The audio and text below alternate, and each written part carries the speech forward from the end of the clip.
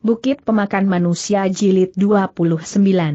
Ketika ditanyakan sesudah menjadi pendeta apakah mereka pernah pergi jauh dari kuil Tong Tian Koan, atau mengalami suatu peristiwa lain, kedua orang itu mengatakan tidak. Maka semua pengakuan itu dicatat kemudian memerintahkan mereka memberi tanda tangan. Sewaktu Gan Wan Sim bertanya kepada Hui Im, dia telah bertemu dengan tandingannya, sambil menatap wajah Hui Im, Gan Wan Sim berkata, kami mempunyai bukti yang nyata menunjukkan bahwa tempat ini bukan sebuah tukuan yang bersih. Belum habis dia berkata, Huim telah menukas. Taya, pertama pintu hendak memberitahukan kepada Taya bahwa tempat ini adalah kuil tempat tinggal para rahib, tapi kenyataannya di tengah malam buta Taya telah membawa ratusan orang lelaki menyerbu kemari dengan melewati dinding pekarangan, Plinto rasa cukup di dalam hal ini Taiya sudah tak mampu memberikan penjelasan kepada semua penduduk kota. Kini Taiya berulang kali menuduh kuil kami sebagai kuil yang tidak bersih, sebenarnya persoalan ini sederhana sekali, asal Taiya punya bukti, silahkan saja diperlihatkan kepada Pinto. Hektometer, dengan mengandalkan kedudukanmu, kau masih belum berhak untuk meminta bukti dari kami, sekarang aku ingin bertanya kepadamu, Seng Seng Koancu, ketua kalian kini berada dalam kuil. Koan tidak berada dalam kuil.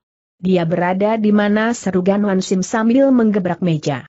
Senjat tadi, dia telah diundang ke gedung Gubernur Lo jawab Hui Im Angku. Gubernur Lo adalah pembesar yang berpangkat tinggi di Provinsi Sam Siang, Kini Hui Im telah menggunakan nama pembesar tersebut untuk menakut-nakuti wali kota Gakyang. Seorang wali kota yang berjabatan kecil tentu saja tak akan mungkin berani mencari gara-gara dengan atasannya kendati pun dia bernyali besar, sebab hal ini ibaratnya sebutir telur yang hendak diadu dengan sebutir batu cadas. Siapa tahu Ganwan Si memang seorang pembesar yang berbeda dengan kebanyakan pembesar lainnya, selama kebenaran tetap ada kendati pun harus berkonfrontasi dengan kaisar pun dia berani. Maka setelah mendengar nama gubernur Lok disinggung, dia hanya tertawa hambar, lalu ujarnya kepada Lim Tiong yang berada di sisinya. Lim Tiong, segera membawa kartu namaku dan berkunjung ke gedung Lau Taijin, katakan kepadanya kalau ada urusan penting hendak dibicarakan diharapkan ia segera datang bersama Seng Seng Ko Ancu. Lim Tiong menerima perintah dan membalikan badan siap berlalu dari situ, namun belum lagi melangkah berapa tindak, Hui Im, Tiah berkata lagi. Aku masih ingat, Pek Taijin di kota selatan juga telah mengundangnya, Shin Lo Siang ya di kota timur juga mengutus orang kemari, maka kini Koancu berada di rumah siapa, sulit rasanya untuk dikatakan. Gan Wan Sin tertawa terbahak-bahak, kepada Lim Tiong serunya, kemarilah kau. Lim Tiong mengiyakan, dia segera berjalan mendekati. Sambil menuding ke arah Wim, Gan Wan Sim berkata, gusur dia ke sudut luar ruangan kuil, perintahkan delapan orang prajurit menjaganya dengan golok terhunus, sebelum mendapat perintah dariku, jika ia berani banyak bicara lagi, segera cincang tubuhnya berkeping-keping. Agak tertegun Ui Cisin setelah mendengar perkataan itu, buru-buru cegahnya. Taijin, aku rasa hal ini kurang sesuai. Gan Wansin tidak memberi banyak penjelasan, dia mengulapkan tangannya dan Lim Tiong menggusur pergi Huim dari situ. Selang berapa saat kemudian, Gan Wan Sim baru berkata kepada Pek Im. Dengarkan baik-baik, kini aku sudah mengetahui penyakit kalian jika kau bersedia bicara jujur, aku akan menghapus dosamu serta mengembalikan kedudukanmu sebagai perempuan baik-baik.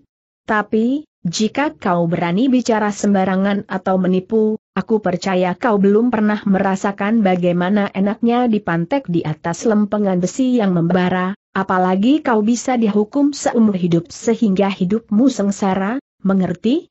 Pek Im menjadi ketakutan setengah mati, buru-buru dia mengiyakan berulang kali.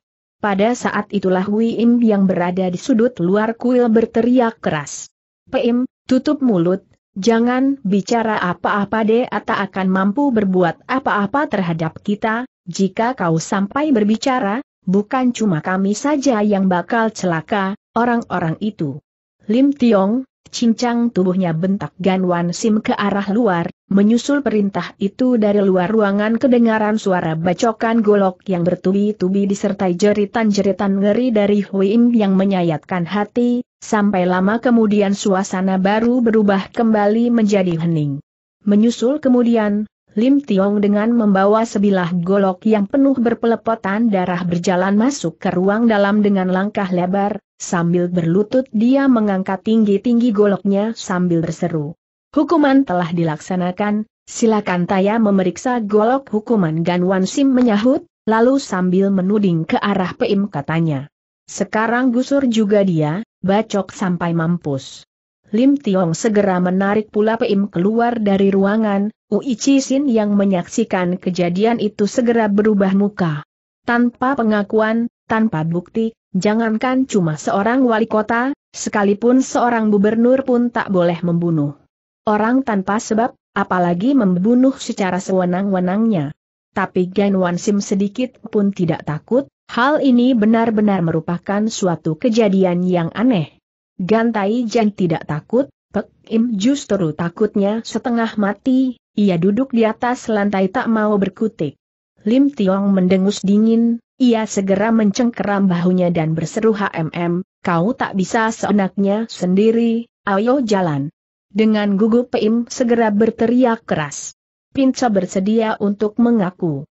Maka semua pertanyaan yang diajukan segera dijawab cepat, tak selang berapa saat kemudian pengakuan dari Pek Im, Ching Im dan Toan Im telah dicatat, ditanda tangani pula oleh Oi Siupi sebagai saksi. Selesai pengakuan, Pek Im sekalian bertiga diperintahkan untuk digusur pergi, sedang Gan Wan Sim yang khawatir Ui Siu Pi merasa tak tenang, segera berkata sambil tersenyum. Harap Ui Tai Jin jangan khawatir, Im sebenarnya tidak mati Ui Siu Pi menjadi tertegun. Ah ah ah, bagaimana mungkin? Darah yang bercucuran dan suara jeritan yang memilukan hati itu. Semuanya cuma pura-pura tukas Gan Wan Sim. Uis Yupi segera tertawa, mau tak mau dia harus mengagumi kecerdasan pembesar itu. Setelah urusan di luar selesai, di bawah komando Gan Wan Sim dan mengikuti apa yang diakui Pek Im, tiga buah pintu rahasia yang menghubungkan ruangan bawah tanah segera dipentang lebar-lebar, lalu 20 orang opas dan 40 orang tentara pemerintah bersama-sama menyerbu ke dalam. Keadaan di bawah tanah sana benar-benar membuat orang menghela napas panjang. Ternyata di situ terdapat puluhan buah kamar yang indah dengan sebuah dapur besar dan ruang penyimpanan bahan makanan yang besar. Begitu masuk ke ruang bawah tanah, sudah terdengar suara tetabuhan yang merdu merayu. Para prajurit dan opas segera melakukan penggeledahan kamar demi kamar, sebuah pemandangan aneh pun segera ditemukan. Dari dalam ruangan pertama ditemukan beberapa orang perempuan berparas cantik.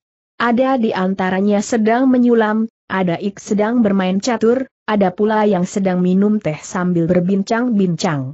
Setelah dilakukan penggeledahan terhadap separuh bagian dan bangunan tersebut, kendati pun tak ditemukan hal-hal yang kotor, tapi terbukti sudah kalau perempuan-perempuan itu adalah perempuan sehat yang tidak menderita penyakit apa-apa. Sejak penggeledahan dilakukan, para wanita itu sudah dibikin kaget, apalagi setelah Gan Wan Sin menurunkan perintah yang melarang setiap wanita yang ditemukan selam kamar dilarang keluar, bahkan ditempatkan penjagaan secara ketat. Suasana makin bertambah gempar. Akhirnya dalam sebuah kamar yang indah ditemukan Seng Seng Keancu sedang bergembira dengan dua orang perempuan, Menurut Iaporan Seng Seng Koancu berada dalam keadaan bugil. Yang dimaksudkan bugil di sini bukan telanjang bulat, melainkan tubuh bagian luarnya ditutup dengan jubah pendeta yang longgar, tapi jubah itu tidak dikancing, sedang dibalik jubah tanpa busana barang secubil pun, seorang rahib ternyata berada dalam keadaan begitu, tentu saja hal tersebut merupakan suatu berita besar yang cukup menggemparkan. Ketika gudang langsung diperiksa, seperti apa yang dilaporkan Li Hong, daging dan sayur serta beras dan arak yang disimpan di situ cukup untuk menghidupi ratusan orang dalam setengah tahun. Dari sebuah regu kecil yang melakukan penggeledahan, dilaporkan pula secara rahasia bahwa mereka bukan saja menemukan benda yang tidak seharusnya ditemukan dalam kuil Seng Seng Koan, bahkan di keluarga biasa pun jarang sekali ditemukan. Sepintas lalu, benda itu mirip kain pembalut wanita. Padahal bukan begitu, benda itu tak lain adalah benda rahasia yang sering kali dipakai para dara ketika menghadapi malam pertamanya tanpa menggubris tempat itu kotor atau tidak, dalam ruangan di mana sang-sang koancu ditemukan itulah Ganwan Sim membuka sidang. Belum lagi Gawan Sim membuka suara, Seng-seng koancu sudah tertawa dingin tiada hentinya sambil berseru. Bagus-bagus sekali, besar amat nyalimu Ganwan Sim memperbaiki tempat duduknya. Baru saja akan menegur, tiba-tiba datanglah kabar buruk seorang datang memberi laporan, Sepuluh orang datang memberi laporan, suara orang yang memberi laporan semakin lama semakin banyak, suasana pun makin hiruk pikuk. Dari awal sampai akhir isi laporannya sama semua, yakni ada orang bunuh diri. Begitu mendengar ada orang bunuh diri, Ganwan Sim mulai merasa tak tenteram.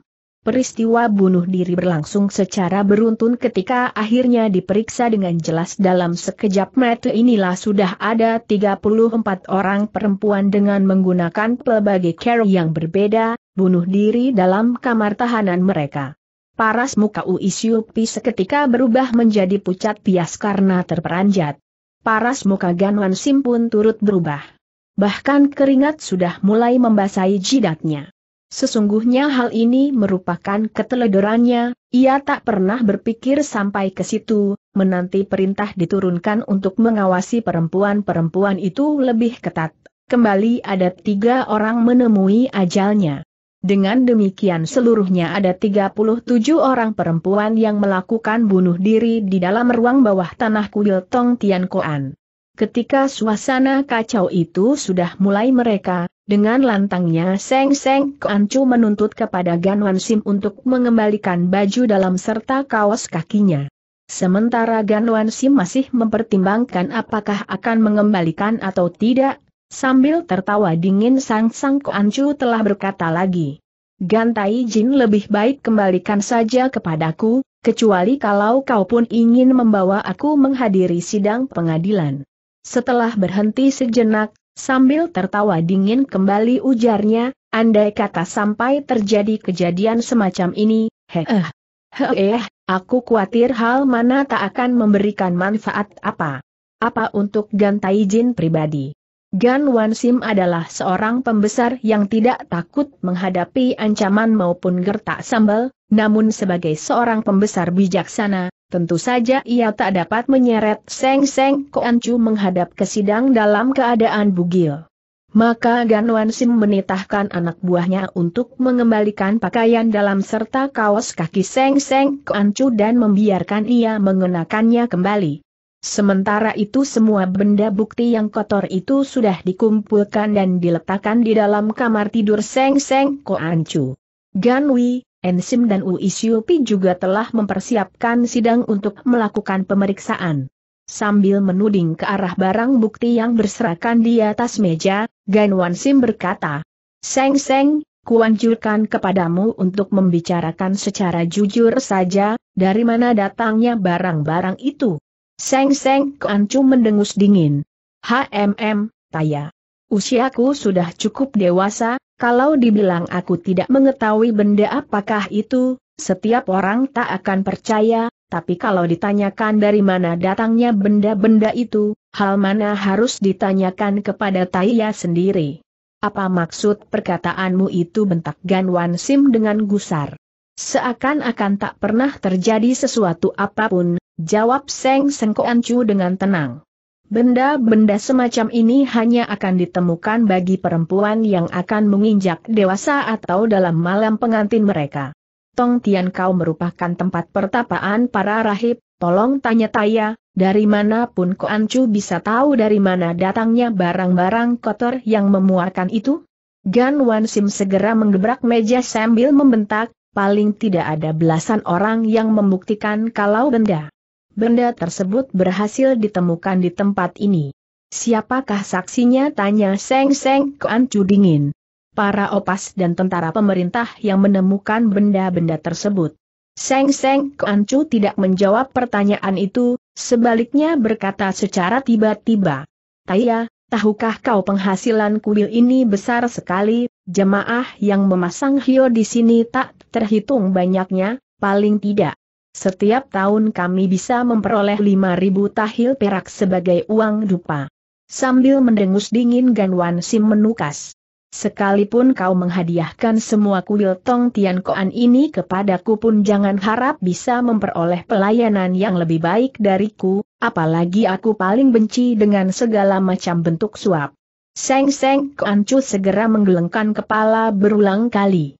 Taya, kau keliru ujarnya, sudah jelas kau tahu, aku tak mungkin akan menyerahkan penghasilan kuil kami kepadamu, maka sekarang kau membawa orang datang mencelakai diriku di tengah malam buta begini. Gan Wan Sim jadi naik darah, serunya kepada Lim Tong dengan suara dalam. Lim Tiong, hadiahkan tempelengan kepadanya.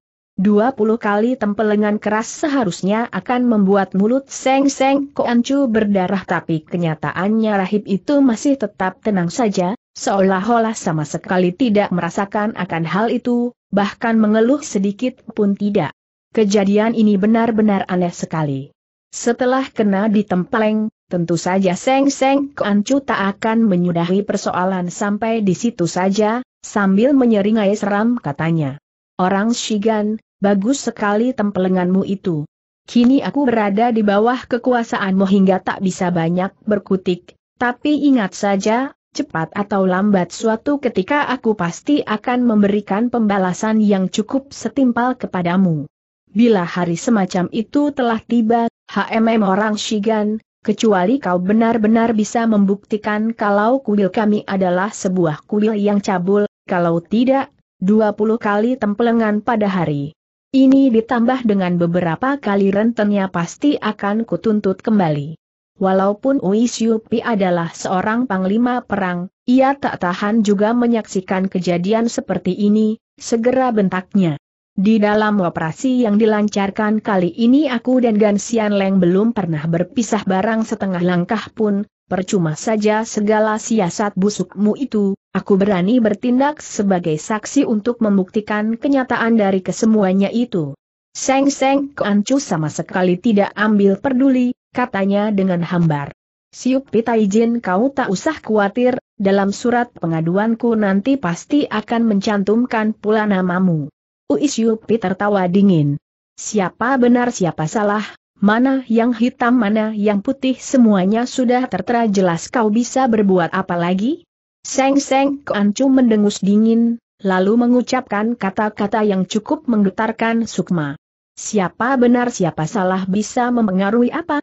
Benda kotor itu kalian yang temukan, siapa bilang hitam dan putih tak dapat dibedakan? Asal bisa ditemukan bukti, itulah buktinya, dan bukti yang jelas sekarang Tai Jin berdua adalah orang lelaki.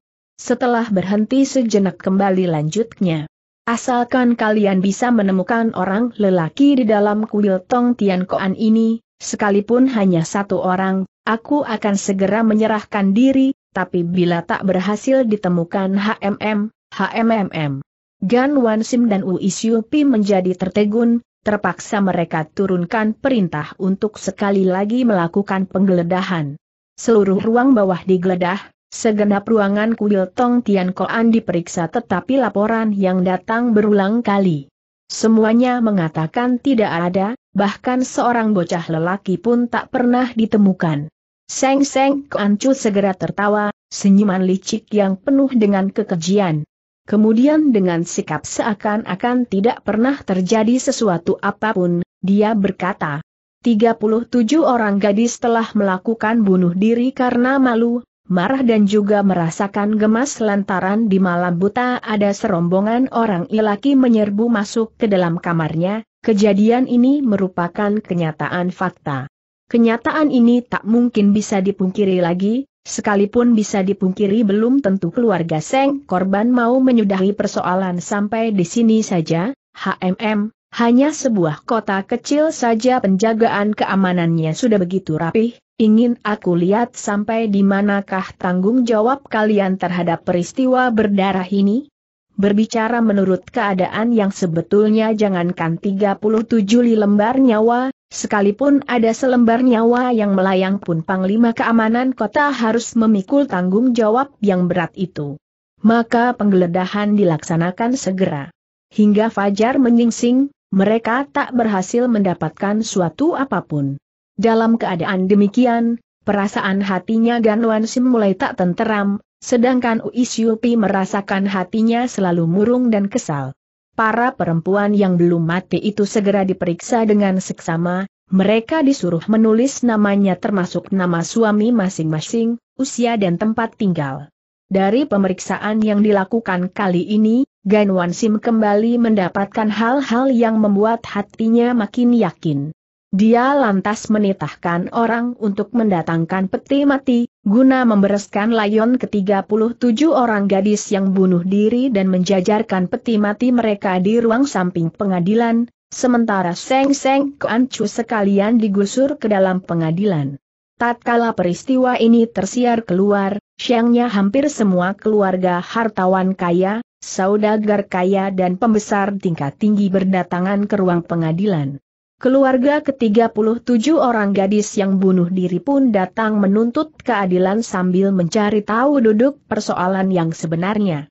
Sambil menekan kobaran amarah dalam hatinya, Gan Sim menghadapi semua persoalan dengan sewajarnya dan makin meyakinkan pandangan dalam hatinya. Yang paling jelas mencurigakan dalam peristiwa ini adalah kematian dari ke-37 orang gadis itu, menurut keterangan yang berhasil dikumpulkan, disebutkan bahwa ke-37 orang gadis itu masih berstatus perawan. Gan Wan Sim segera mencari dukun beranak dan memerintahkan kepada mereka untuk melakukan pemeriksaan terhadap gadis-gadis yang mati bunuh diri itu.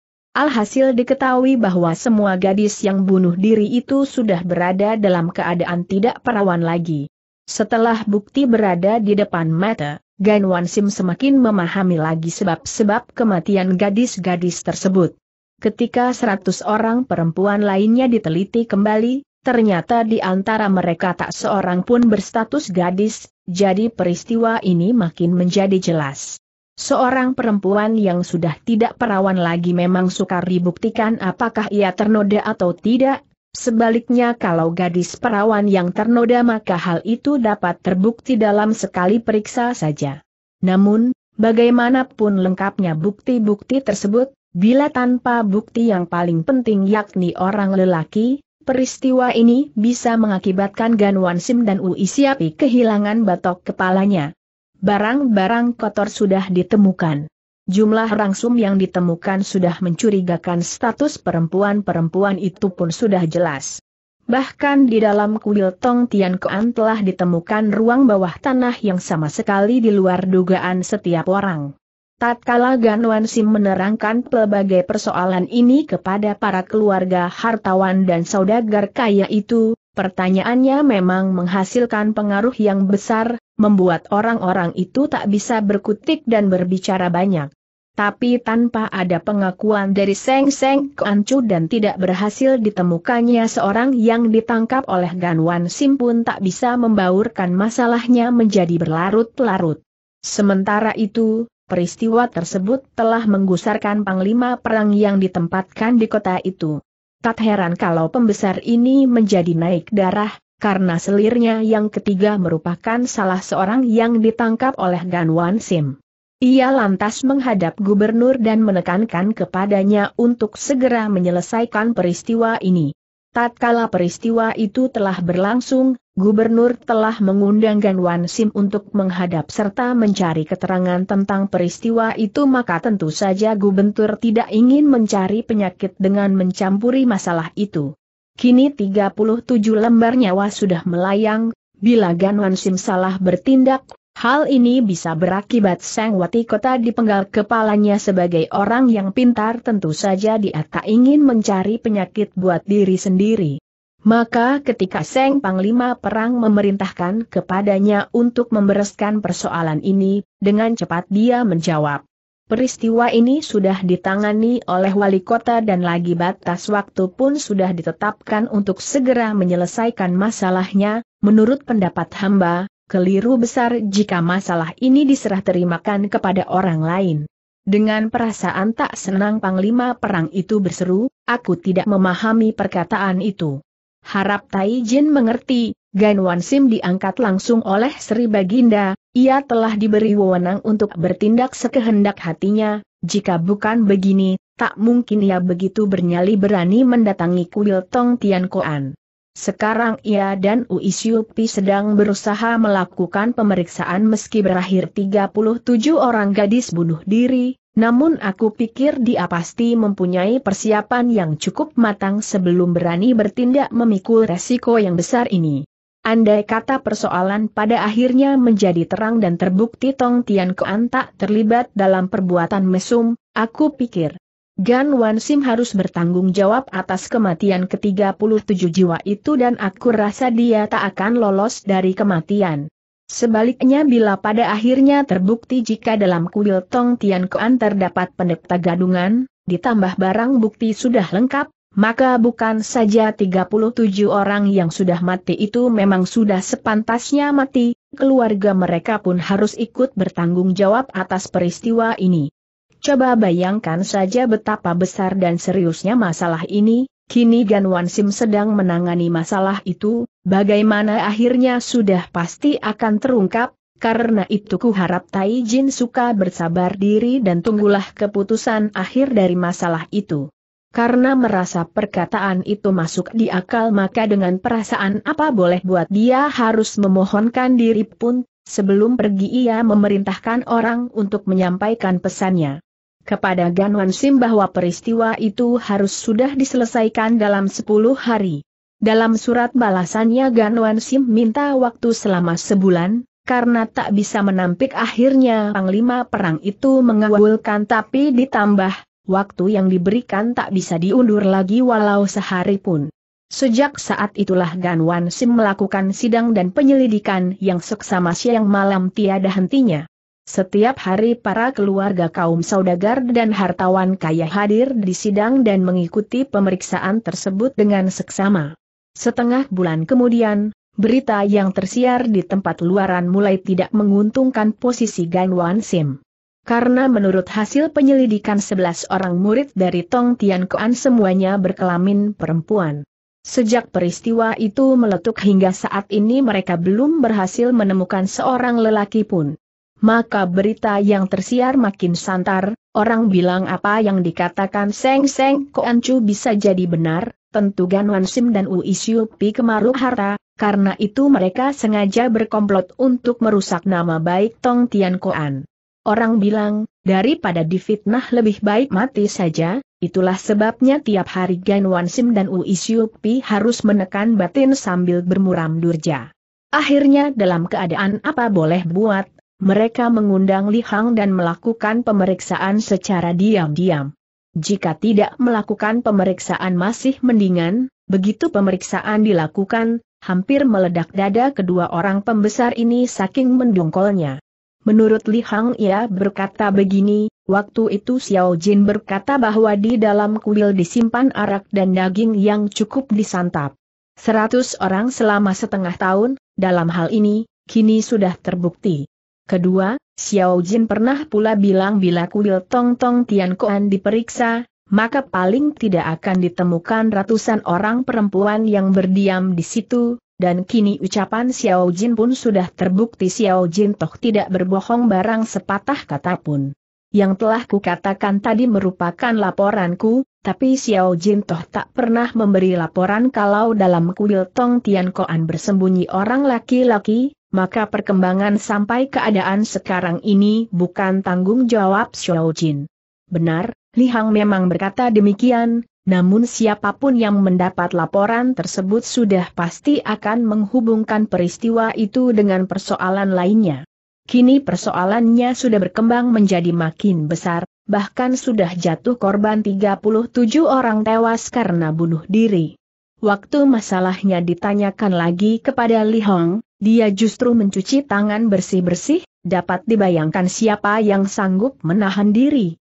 Gan Wansi masih dapat menahan diri, namun Uishopi tak sanggup mengendalikan diri lagi, sambil menuding Li Hong, serunya dengan suara dalam dan berat. Rakyat celaka, rakyat celaka, kau hanya mendatangkan bencana buat kami. Sambil tertawa getir Gan Wansim segera mencegah, katanya. Ui Taijin, percuma menghukum dia, Malam itu dia memang cuma berkata begitu, semuanya ini harus salahkan kecerobohanku sendiri, tapi Uit Taijin toh membuktikan sendiri bahwa semua penyelidikan kita sekarang tak ada yang salah. Dengan mendongkol Ui Shopi mendepak-depakan kakinya berulang kali, serunya. Gan Taijin, persoalannya memang mencurigakan, ah ah ah, tidak, sudah pasti ada hal-hal yang tidak beres, akan tetapi jika tak berhasil menemukan pembunuhnya, toh urusan ini bakal berakhir dengan kematian kita berdua. Sekali lagi Gan Wansim tertawa getir, namun dia tidak menjawab separah kata pun. Sementara itu Li Hang yang berada di bawah telah bertanya lagi. Tolong tanya Tai Jin berdua, apa yang disebut pembunuhnya kami hendak mencari lelaki yang membuat perbuatan terkutuk. Ini kata Gan Wansim dengan kening berkerut. Li Hang tertawa. Aneh benar, adakah apakah Koancu itu bukan seorang lelaki? Sebelum Gan Wansim menjawab, Ui Siupi telah membentak dengan suara dalam. Andai kata dia adalah seorang lelaki, buat apa pada malam ini kami bertanya kepadamu? Tapi, Koancu itu jelas adalah seorang lelaki kata Li Hang dengan wajah tercengang. Sementara itu Gan Sim sudah dapat menangkap kata di balik kata dari kakek tersebut maka dia pun berkata, Dari mana kau bisa tahu? Li Hang segera tertawa terkekeh-kekeh. Hei, eh, heh, heh, Taijin, seperti aku seorang yang begini bodoh, aku berani menghadap pembesar? Dan lagi mana mungkin aku bisa begitu menganggurnya hingga bersedia memanjat pohon sambil menahan rasa kedinginan. Berbicara sebenarnya aku berbuat demikian karena ada alasan tertentu, ada seorang loyacu berambut dan berjenggot putih yang pada suatu hari datang mencari Xiao Jin, dia bertanya kepada Xiao Jin apakah ingin menerima seribu tahil perak. Seperti Tai Jin ketahui, Xiao Jin hidup miskin dan sengsara, tentu saja Xiao Jin bersedia setelah mendengar ada seribu tahil perak bisa didapat, namun Xiao Jin tak berani melakukan perbuatan tidak halal yang melanggar hukum, maka sebelumnya Xiao Jin tanyakan masalah ini sejelas jelasnya. Begitu aku bertanya, Ioye Acu itu baru memberitahukan kepada Xiao Jin, agar sejak hari itu setiap kentongan pertama harus memanjat pohon, setengah bulan kemudian Xiao Jin harus melaporkan apa yang hamba saksikan itu kepada Gantaya. Loya Chu itu untuk memberitahukan pula sebuah rahasia kepada Xiao Jin, katanya suatu ketika Taya pasti akan kesal oleh peristiwa ini karena ingin cepat-cepat menemukan si penjahat tersebut. Jika hari semacam itu telah tiba, Loya Chu itu kembali berkata, Taya tentu akan teringat Xiao Jin dan melakukan pemeriksaan lagi, pada saat itulah dia menyuruh Xiao Jin minta hadiah seribu tahil perak dulu kepada Taya sebelum mengemukakan rahasianya. Seribu tahil perak, bukan suatu jumlah yang kecil artinya. Tapi Ui Siupi tanpa menunggu pendapat dari Gan Sim segera berseru lantang. Baik, baik, cepat katakan apa rahasianya. Gan Sim jauh lebih pandai menahan diri, segera serunya keluar ruangan. Lin Tiong, masuk kemari. Lim Tiong menyahut dan melangkah masuk. Gan Wansin segera memerintahkan kepadanya. Coba kau pergi ke Ciaya sana dan tanyakan, apakah dalam gudang masih tersedia seribu tahil perak, andai kata ada, segera. Bawa kemari, kalau tak ada, segera cari akal untuk menyelesaikan, cepat. Sewaktu Lim Tiong hendak pergi, Li Hang berseru sambil mengulapkan tangannya. Lim Taijin, harap tunggu sebentar. Lim Tiong tertegun dan memandang ke arah Li Hang, sementara itu, Li Hang telah berkata kepada Gan Wansin. Tai Jin, Xiao Jin tahu kalau Tai Jin adalah seorang pembesar yang bersih, uang yang disimpan dalam gudang baru dipakai jika ada urusan besar, aku hanya berharap Taijin suka mengingat saja akan seribu tel peraku itu kau tak usah membayar kontan saat ini juga.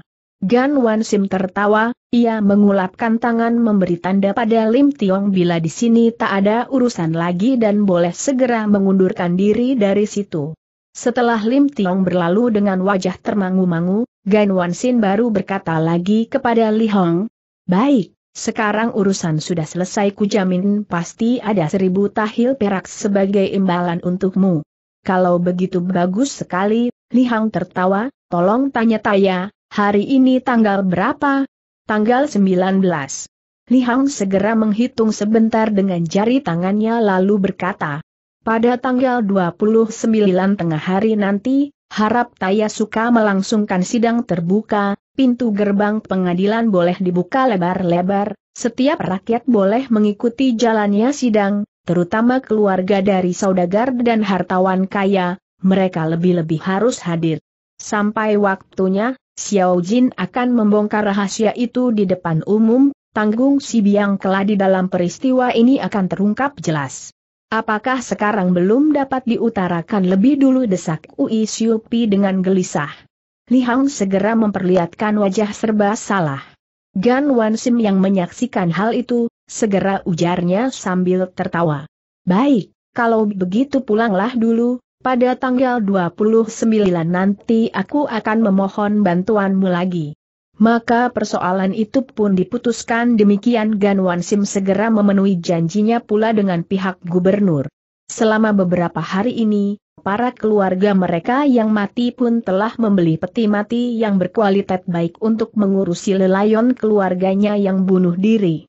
Namun sebelum perkara itu diputuskan, peti mati masih harus tetap berada di ruang sidang dan tak boleh dikubur dulu. Begitu ya, pada tanggal 29 suasana di sekitar gedung pengadilan kota Gak yang menjadi sangat ramai, pengunjung yang memenuhi gedung dan seputar gedung berlimpah ruah. Gan Wansin segera menurunkan perintah untuk membuka segenap pintu pengadilan lebar-lebar. Sebelum tengah hari, Ganto Aloya bersiap-siap untuk membuka sidang. Sebelumnya harus berbasa basi dulu dengan mempersilahkan atasannya untuk memimpin sidang tersebut. Sebagai orang yang berhati licik, tentu saja sang gubernur enggan menerima tanggung jawab itu, maka buru-buru dia menampik. Saat itulah Ganwan Sim baru berseru dengan lantang, sidang dibuka. Setelah membuka sidang, sekali lagi Ganwan Sim berseru. Pengawal, persembahkan pedang Xiao Hang Kiam. Begitu mendengar nama pedang itu, serentak suasana di dalam ruang sidang menjadi gempar. Mereka tak menyangka kalau pedang Xiao Hang Kiam milik Sri Baginda berada di situ. Tak heran kalau Ganwan sini begitu bernyali untuk menangani kasus sebesar ini. Begitu pedang Xiao Hang Kiam dipersembahkan, segera turun perintah untuk menghadapkan ke sebelas tokoh itu. Rahib tua Seng Seng Keancu juga dihadapkan ke depan sidang dan berlutut di sisi kiri, sedangkan Hui Im sekalian sepuluh orang rahib muda berlutut di sebelah kanan ruangan. Lalu bergema lagi suara bentakan nyaring. Persilahkan Li Hang masuk ke ruang sidang, Li Hang siapakah Li Hang? Semua orang mulai berbisik-bisik membicarakan persoalan itu, suasana menjadi gempar dan gaduh. Bentakan nyaring kembali menggelegar di dalam ruangan. Atas perintah Taya, diharapkan suasana di dalam sidang tenang, bila ada yang berani membuat kegaduhan Iagi, akan dihukum sebagai pengacau sidang. Seketika suasana menjadi hening, hening sekali. Pada saat itulah Li Hang muncul di ruang sidang dengan langkah pelan. Dipersilahkan duduk menanti di ruangan sebelah kanan. Perintah ini keluar dari mulut Gantaya sendiri, suatu penghormatan yang amat besar. Maka beratus pasang mati manusia pun bersama-sama dialihkan ke wajah Li Hong. Sikap Li Hong ternyata lebih hebat, dia memejamkan matanya rapat-rapat dan sama sekali tak acuh terhadap suasana di sekitarnya. Pemeriksaan segera dimulai, Gan Wansin memerintahkan orang untuk membacakan pengakuan mereka, kemudian diperintahkan pula tiga orang dukun beranak maju. Ketiga orang dukun beranak itu satu berasal dari kota Gakyang, Satu dari gedung Gak Yang Hu sedang yang lain berasal dari gedung Panglima Perang Provinsi Samsiang. Ketika semua pengakuan mereka dibuktikan dengan jelas, maka Ganwan Sim pun berkata kepada semua hadirin yang berada di situ. Pengakuan dari Peim berkisar sekitar dibangunnya ruang bawah tanah di kuil Tong Tian Koan, dahulu sudah ditanyakan berapa kali dan kini tak usah ditanyakan lagi, sekarang coba lihat pengakuan dari Cingin dan Toanen. Mereka berdua mengaku menjadi pendeta sejak kecil, menjadi pendeta di kuil Tong Tian Koan dan selamanya tak pernah meninggalkan tempat itu, pengakuan tersebut diberikan sewaktu mereka diperiksa. Kini aku berharap apakah di antara saudara sekalian yang hadir di sini merasa keberatan atau mempunyai pandangan lain terhadap pengakuan mereka itu? Kalau ada harap segera diutarakan. Tiada yang menjawab, keadaan tetap hening. Maka Ganwan Sin mendesak kedua orang tokoh itu lebih jauh. Apakah pengakuan kalian semuanya jujur? Toanen dan Cingen bersumpah kalau pengakuan mereka sejujurnya dan tidak bohong. Sambil tertawa Ganwan Sim lantas berpaling ke arah ketiga orang dukun beranak itu sambil berkata, kalian harus memberi jawaban yang sejelasnya. Nah, sekarang bacalah hasil pemeriksaan kalian. Ketiga orang dukun beranak itu masing-masing membacakan laporan hasil penyelidikan mereka, yang aneh adalah Nen dan Toan In yang berulang kali menyatakan dirinya masih gadis perawan itu terbukti sudah tidak perawan lagi. Sebelum laporan itu dibacakan, semua orang masih belum memahami apa maksud dan tujuan Gan Sin dengan pertanyaan-pertanyaannya ini tapi sekarang mereka sudah mengerti, ternyata begitulah yang diharapkan. Berpikir, sejak kecil Toan In dan Ching Nen sudah menjadi pendeta, tapi kenyataannya kini mereka sudah tidak gadis lagi, apa yang telah terjadi dengan mereka berdua? Tanpa orang lain memberi penjelasan, tiap orang dapat memahami betapa rumit soal itu. Tapi Seng Seng Koancu segera berseru sambil tertawa dingin. Gantaya, bolehkah aku berbicara sepatah dua patah kata HMM, silahkan jawab Gan Sim sambil mendengus.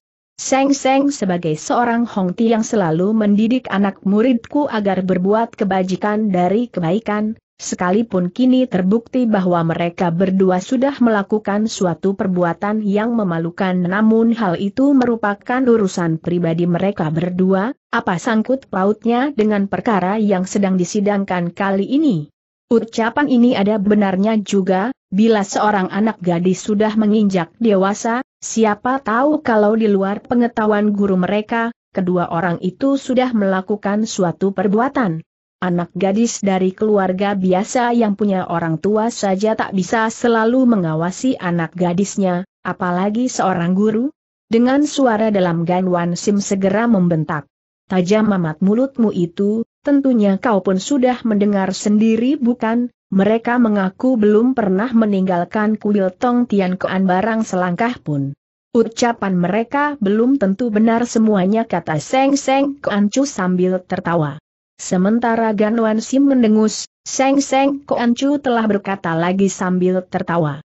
Dewasa ini seharusnya Taya berupaya dalam masalah yang pokok, bila kau dapat menemukan seorang lelaki dalam kuil kami, bukankah semua masalah akan menjadi jelas dengan sendirinya sedangkan Pince pun tidak usah banyak berbicara lagi, bukankah hal itu jauh lebih menguntungkan dirimu? Gan Wansin tidak menggubris perkataannya itu, sebaliknya sambil berpaling ke arah hadirin di ruangan, ujarnya. Ada suatu berita yang mungkin akan merisaukan hati kalian bila sudah kuumumkan nanti, setelah kurahasiakan sampai kini, rasanya mau tak mau hal mana terpaksa harus keumumkan. Menurut penyelidikan, 37 orang gadis yang bunuh diri itu semuanya masih berstatus gadis perawan dan belum pernah menikah.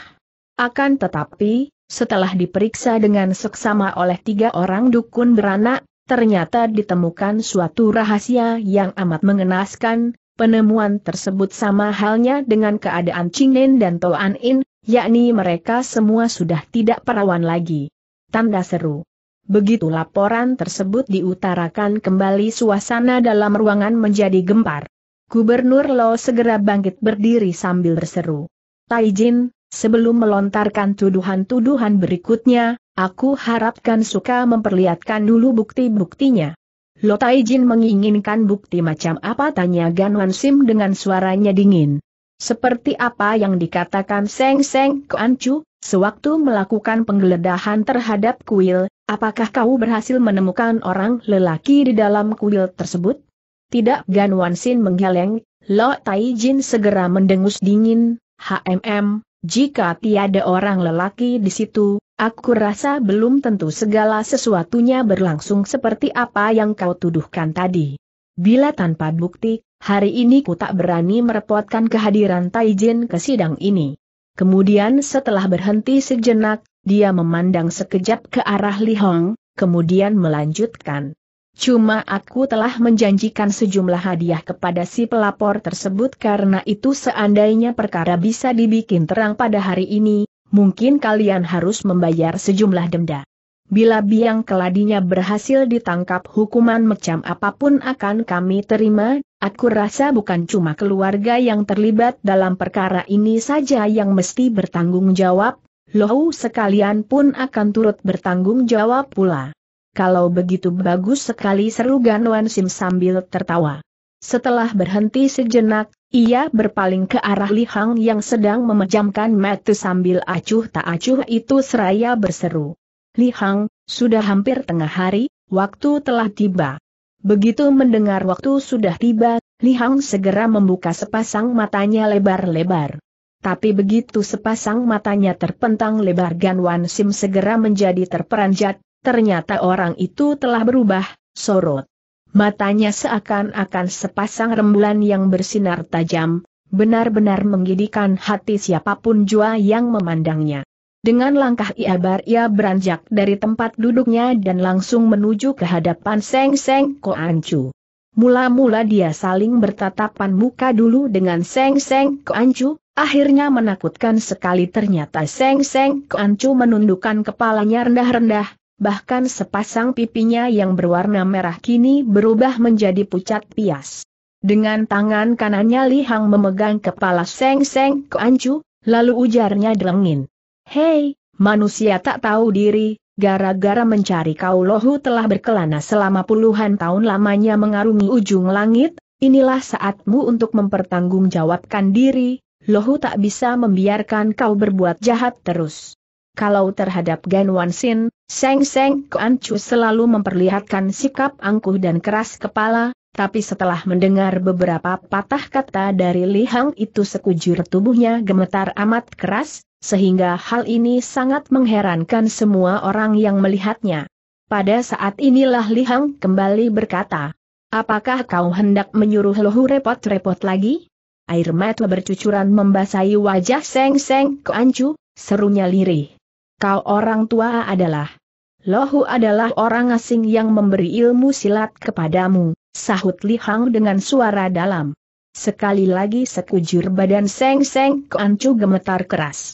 Kasihanilah Bo Ampual, setelah bertahun-tahun melatih diri. Dengan susah payah, sekarang baru nampak hasilnya, kau orang tua.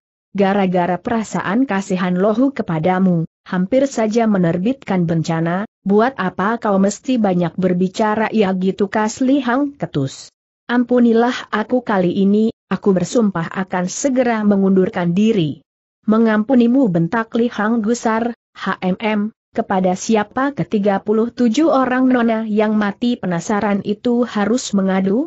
Kepada siapa pula gadis-gadis yang bernasib jelek itu mesti mengadukan nasib mereka yang malang? Agaknya Seng Seng Keancu menyadari kalau rengekannya tak berguna, mendadak ia membentak keras. Setan tua, belum tentu kau mampu mengendalikan aku kata Seng Seng Keancu kemudian. Haaah, haaah, haaah, kalau begitu cobalah sendiri Lihang tertawa berbahak-bahak. Seraya berkata dia lantas mengerahkan tenaga dalamnya ke telapak tangan kanannya dan menekannya ke bawah. Seng Seng Keancu segera mengayunkan pula sepasang lengannya dan menghajar tubuh Li Hang dengan menggunakan rantai yang membelenggu tubuhnya. Bersamaan itu juga badannya berputar kencang lalu melompat bangun dari atas tanah. Li Hang mendengus dingin, tangan kanannya menyambar ke muka mencengkeram rantai itu kemudian digetarkan ke depan. Siapa sangka Seng Seng Keancu sudah menduga sampai ke situ, sepasang lengannya direntangkan ke arah samping dan rantai tersebut hancur berantakan menjadi berkeping-keping dan rontok ke tanah, Kontan saja kejadian ini membuat paniknya rakyat yang kebetulan mengikuti jalannya persidangan, jeritan kaget berkumandang dari sana-sini. Siapa sangka gerakan tubuh Li Hang jauh lebih cepat daripada gerakan Seng Seng Keancu, tahu-tahu dia sudah berkelebat lewat dan menyelinap ke belakang punggung Seng Seng Keancu, tangan kanannya menyambar ke depan dan menekan jalan darah Pei Sim Hiat di tubuh lawan masih tak mau berlutut untuk menyerah bentaknya dengan suara menggeledek. Berbareng dengan bentakan tersebut, Seng Seng Keancu segera terjatuh kembali ke tanah dan tak berkutik lagi. Di bawah tatapan mata semua orang, raut wajah Seng Seng Keancu tampak berubah menjadi hijau keabu-abuan. Tubuhnya yang terjatuh ke tanah pun terkulai lemas dan tidak berkutik lagi, keadaannya tak berbeda dengan seekor babi. Saat itulah Li Hang baru berkata kepada Gan Wan Sim. Xiao Bin, rakyat kecil, mohon kepada Tai Jin agar memeriksa kelamin orang ini di hadapan umum. Gan Wan Sim segera menurunkan perintah, agar adilnya maka dipilih tiga orang untuk secara bergilir melakukan pemeriksaan. Alhasil pemeriksaan tersebut segera menggemparkan hadirin ternyata Seng Seng Koancu adalah seorang lelaki tulen. Li Hang segera minta sidang dilangsungkan secara tertutup, maka kecuali mereka yang bersangkutan, seluruh hadirin dipersilahkan keluar dari ruang sidang dan pintu ditutup rapat dua. Pada saat inilah Li Hang baru berkata kepada para saudagar kaya dan pembesar yang ada. Nah, saudara sekalian, apa yang hendak kalian katakan sekarang? Sejak Seng Seng Keancu terbukti sebagai lelaki tulen, para saudagar hartawan dan pembesar yang ada di situ dibikin tersipu. Sipu kemaluan, seandainya di situ ada lubang, mungkin mereka sudah menerobos ke dalamnya untuk menyembunyikan diri. Setelah mendengus dingin, kembali Li Hang berkata, Saudara sekalian kini urusan sudah jelas, tapi soal urusan kalian pribadi lohu tak mungkin bisa membantu lagi. Mula-mula semua orang tertegun dan tidak tahu apa yang dimaksudkan tapi setelah memahami maksudnya, kontan peluh dingin jatuh bercucuran wajah berubah hebat, mereka bersama-sama memandang ke arah Li Hang dengan wajah merengek. Li Hang mendengus dingin, ujarnya lebih jauh. Gak yang adalah kota besar, setelah terjadi peristiwa semacam ini, dan 30 orang menjadi korban apalagi ada beribu-ribu orang rakyat menjadi saksi, Sekalipun Gan Loya berusaha menolong, rasanya hal ini pun mustahil bisa terlaksana. Lohu berani memastikan, kejadian hari ini pasti akan dilaporkan kepada Sri Baginda, bila hal ini sampai terjadi sudah bisa dipastikan kalian semua akan dituntut menurut hukum. Sejak dulu sampai sekarang, Perzinahan dan perkosaan merupakan dosa yang tak terampuni, apalagi jika ada lelaki yang menyaru sebagai perempuan melakukan perbuatan mesum. Sesungguhnya masalah ini bisa diselesaikan secara damai dan tenang tanpa keributan, seandainya kalian tahu diri, tapi atas ulah dan desakan kalian sendiri akhirnya Gantai Jin dipaksa untuk melakukan persidangan secara terbuka, kini urusan telah berkembang jadi begini, Loh rasa tiada jalan lain kecuali. Kecuali bagaimana Sian Seng tanya para hartawan tanpa terasa. Li Hang memandang sekejap ke arah Gan Wan Sim, kemudian baru berkata lebih jauh. Kini sang gubernur berada di sini, kecuali gubernur bersedia untuk menanggung masalah ini. Sang gubernur Gak yang menjadi berdiri bodoh, dia masih mempunyai masa depan yang baik, tentu saja tak berani menanggung masalah yang begitu besarnya. Apabila Gan Taijin juga yang mengambil keputusan, tapi idenya sebagian besar masih keluar dari benak Li Hong. Dengan pedang Siang Hang Kiam, Seng Seng Koancu menjalani hukuman mati penggal kepala. Kuil Tong Tian Koan ditutup dan dibakar. Sedang para keluarga hartawan dan pembesar yang tersangkut dalam peristiwa ini dihukum denda sekian laksa tahil perak. Uang denda yang terkumpul kemudian dibagikan kepada fakir miskin dan rakyat kecil yang sedang tertimpa bencana. Sementara keluarga yang menjadi korban boleh membawa pulang jenazah keluarganya untuk dikubur.